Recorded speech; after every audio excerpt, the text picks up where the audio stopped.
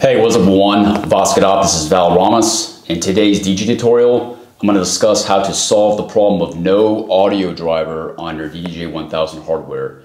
So last night I ran a virus scan on my computer and after the completion of the virus scan, it eliminated the connection between my hardware and my Rekordbox DJ software. And then on the display screen, it read no audio driver. So I'm going to hop into Rekordbox DJ and I'll provide you the solution on how to solve this problem.